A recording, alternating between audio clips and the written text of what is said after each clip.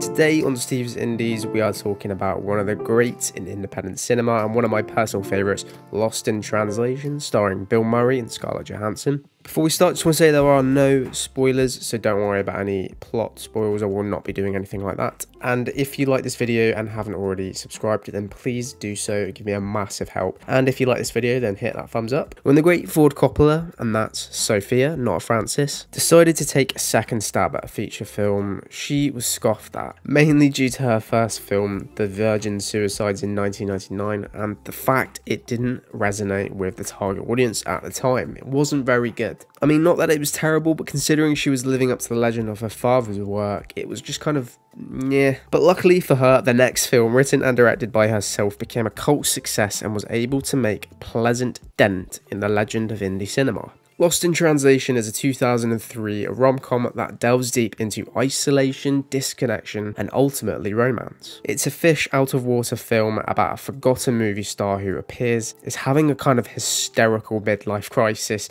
and cultural awakening in Tokyo, Japan. Personally, I do think that Bill Murray was perfectly casted in this film. I mean, I wouldn't say that he's irrelevant today. I mean, it's very, very far from it. But his comedy style, attitude, and just this overall look that he has is everything that the character of Bob Harris is. With scenes of hilarious cultural displacement, it's very entertaining to see this. I've never really been to Japan, but I know that I would probably be in the same situation. I'll do exactly the same things, and I do believe that that speaks volumes to the relatability of this film, which is one of its biggest strengths. So Bob is shortly joined by the character of Charlotte, another American that is out of odds, kind of following her husband to Tokyo. He's a professional photographer, and she basically leaves her old life behind. Unaware of each other staying in the same hotel, they are miraculously, as if fate brought them together, by two things they both enjoy a show and a stiff drink at the bar. So they begin to form a connection, and this is where Lost in Translation starts to come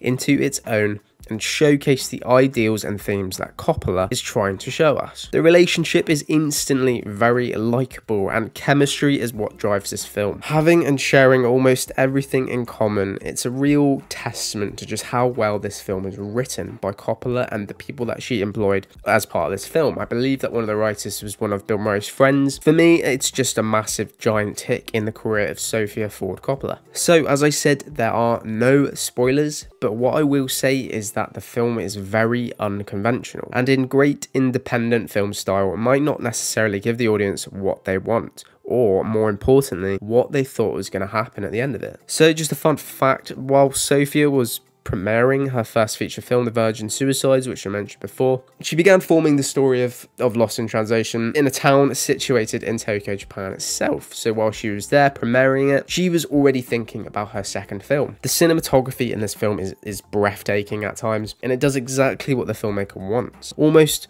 swamping us with visuals and congestion. The multiple cityscape shots and visuals, these really, really wild visuals, all add to this sensory overload which is exactly what Bob and Charlotte are facing every day they are there. Again, this just goes back to the relatability. Charlotte is basically this young Yale graduate that begins to question her marriage while being there. She starts to feel that through her husband's busy schedule, she is just another afterthought. She's playing second fiddle to this professional success, which, surprise, surprise, is exactly how Bob is feeling as well. The same human emotions from the strains of marriage. It's just at different times in their life. It's almost as if Charlotte starts to realise that her life could be exactly the same in the next 25 years if she's not careful about her choices that she makes. Personally, I don't think that Lost in Translation knew what kind of a cult success it would become, despite the fact that it gained major commercial and critical success. Both actors were in fact heavily praised. Bill Murray even received a Best Actor nomination at the 79th Academy Awards.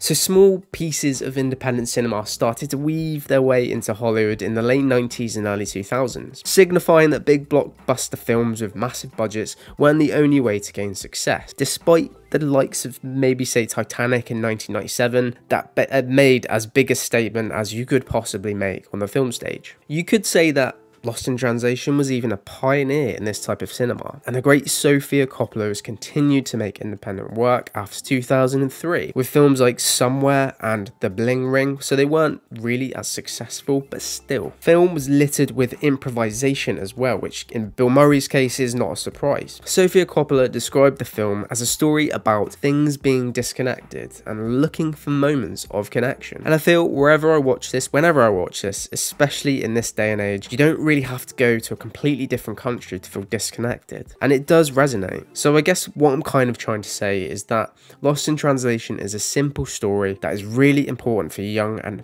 and even old people to watch today. You never really get to an age where it's too late to turn back and do something different with your life. So overall, cinematography, direction, and most importantly, the writing and the screenplay, which is one of the best independent screenplays there is, I would give this a solid 7.9 out of 10. Lost is an independent film that was nominated for Best Picture, Best Director, and ultimately won what it is best for, which was the Best Original Screenplay. Its witty, relatable humour and cast character chemistry is why it's one of my favourites and why I think it will stand the test of time as one of the great indie cinematic greats. So there we have it. If you like this video, please hit that like button and stay tuned, subscribe for more independent content. And on that note, take care everybody.